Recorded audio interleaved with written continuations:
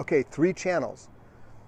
Fire Guy 1322, that's Fire Guy Dash 1322, the Samurai Carpenter, and the Slanted Lens. Hey, good morning. David Pruitt here from USN ER Doc.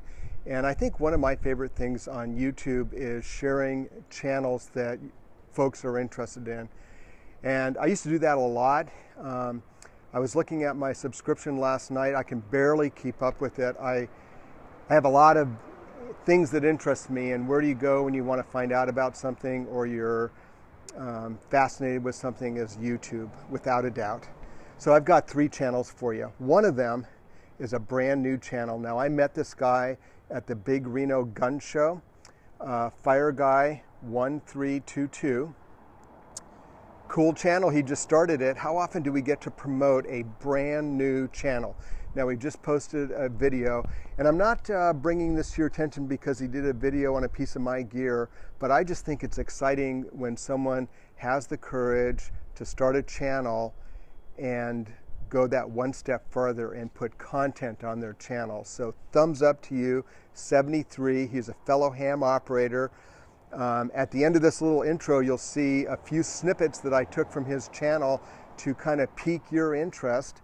And um, I think uh, these are channels we want to support and encourage. Now, a lot of you know that I love carpentry and woodworking, and there's a very cool channel that I've been following lately. Now, some of you guys may already know about this channel, but for those of you that don't and you're looking for a fun and fascinating channel that deals with woodworking and more importantly, craftsmanship. Now, that's a dying thing these days, I think. A lot of people can do carpentry, but not many do it with craftsmanship. So, let me direct you to the Samurai Carpenter.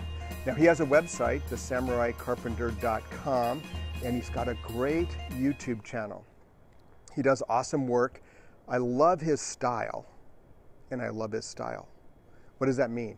I like his carpentry work and I love his craftsmanship, so that's awesome style. But I also like his YouTube style. Um, he's very, very fun and entertaining. So check out the Samurai Carpenter.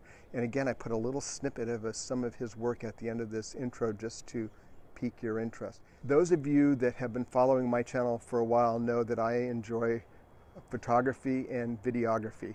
So there's a new channel that I've been following recently because I'm trying to increase my skill and knowledge in both photography and videography.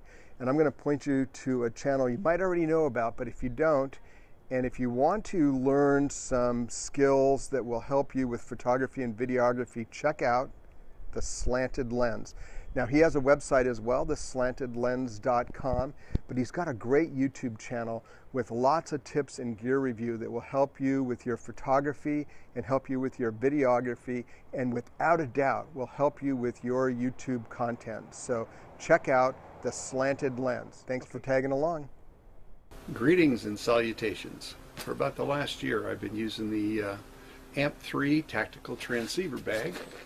Got that from Dave at the Reno Gun Show.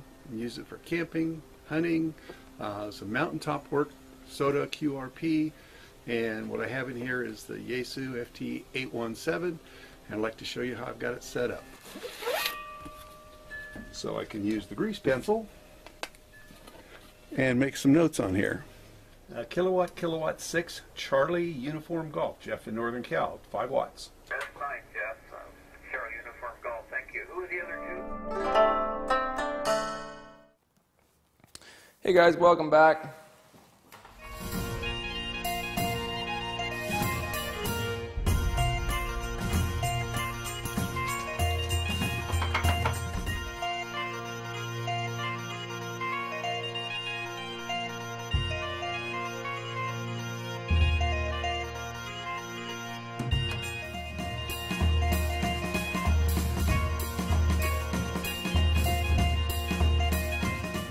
Till next time, Samurai out.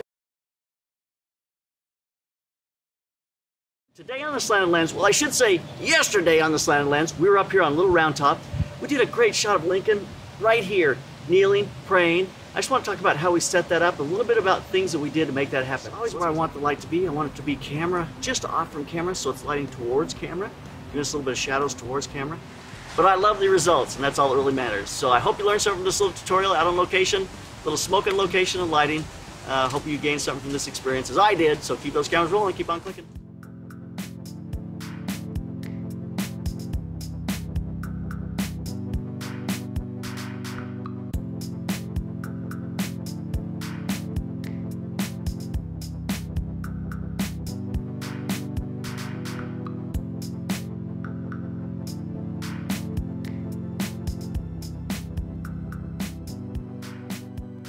Okay, well, hopefully you took my advice and checked out those channels and enjoyed them.